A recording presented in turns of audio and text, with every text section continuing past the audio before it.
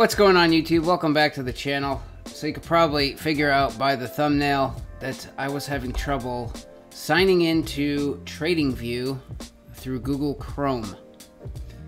So I got a bad request 400 error. And I got it like Friday night and I figured I you know I thought nothing of it. I figured oh maybe TradingView is updating stuff while the market's closed because they do that from time to time. So I tried it again today. Same error. Okay, there's a problem, probably. It shouldn't be down that long.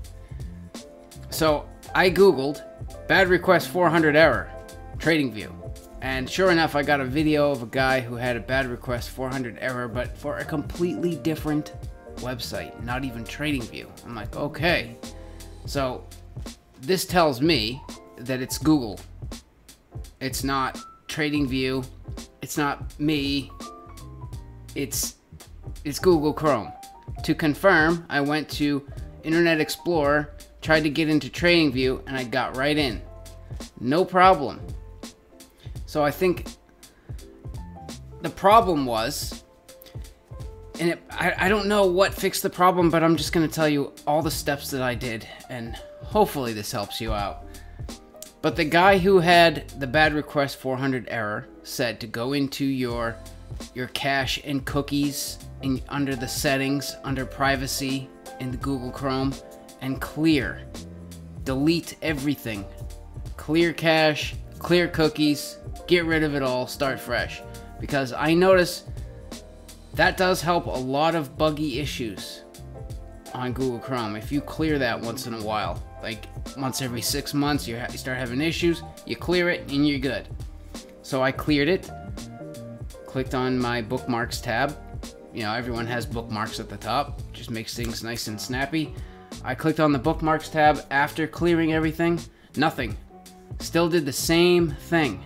It's like huh weird. So I opened up Google Chrome and I created I, I searched in the search bar. I just typed in TradingView. And I wanted to see what came up. Maybe they changed their website slightly or something happened. I don't know. So I found uh, found this right here, TradingView, track all markets. I clicked on it. Son of a gun, we're in. Like what what? Okay, so I went and deleted my bookmark re-signed in through here, and then created a new bookmark. And now I can click on the bookmark in Google Chrome, and it pops right up.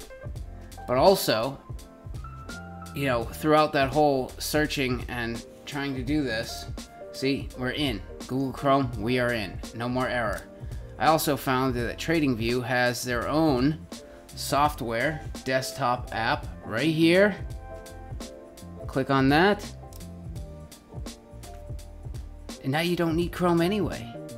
But, you know, it's nice to have it working when you do want to use it. But, yeah, I just, I wanted to share that just in case anyone else is getting that same uh, TradingView bad request. 400 error. I would try clearing cache and cookies first because that usually solves a lot of stuff. And if it doesn't, then check your bookmark. Get rid of your bookmark. And then new search, get back in, create new bookmark. Or just download the software. Even better.